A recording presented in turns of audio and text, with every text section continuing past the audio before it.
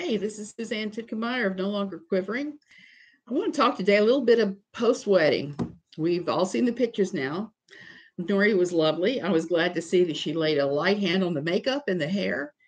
Her dress was not anything as bad as I feared. I feared she would have the kind of dress I had for my wedding, which is basically I look like a frosted cupcake because of this huge wide skirt with a hoop skirt and these giant puff sleeves.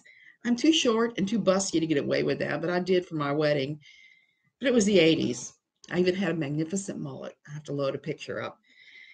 Her dress was actually kind of pretty. It was way better than I expected, knowing that Jill had supposedly bought it for her when she was 13.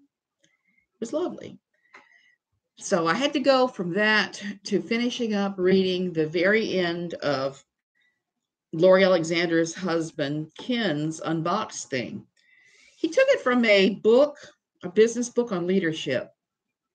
Plagiarized bits of it for his thing, but mostly he um, added in his fundamentalist spin on everything.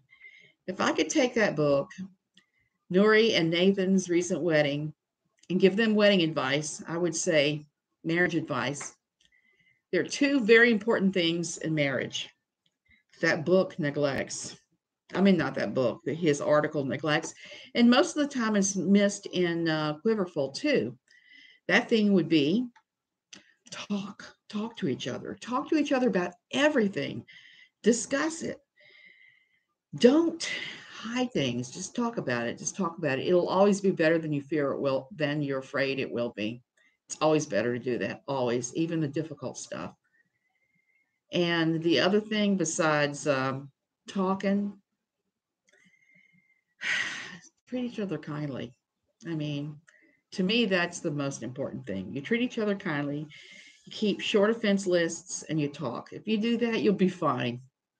And I hope you are fine. I hope you guys have a wonderful marriage, life. You don't end up with giant piles of Kit Kats like David. You don't end up with years and years of recriminations and picky faults with each other like the Alexanders did. Just love each other and talk. I'll see all you guys later in the week, I guess.